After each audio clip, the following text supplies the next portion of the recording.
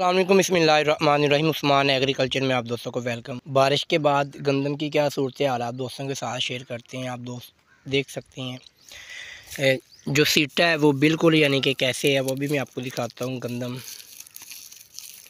देखें दाने के अंदर नमी आना स्टार्ट हो चुकी है बारिशों की वजह से। गंदम की ये सूरत हाल है दोस्तों, दुआ करें अल्लाह पाक किसान भाइयों के हाल पर रहम फरमाए। दोस्तों मैं आपको बताता चलूँ, ये सब कुछ हमारे कारनामे होते हैं।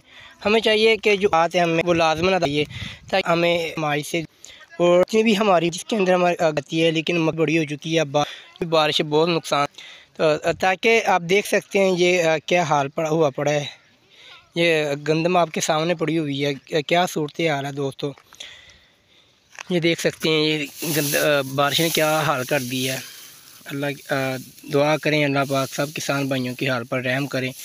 मैं आपको दिखाता चलूँ, ये देखे, नीचे से गंदम उगना शुरू हो चुकी है। बहुत ही खस्ता हाल है दोस्तों जो सूरत हाल नज़र आ रही है।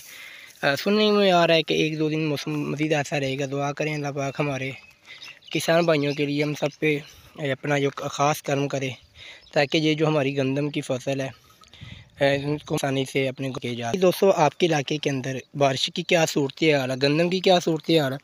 हमें कमेंट बॉक्स के अंदर दोस्त अपना बहुत सारा अल्लाह हाफिज़।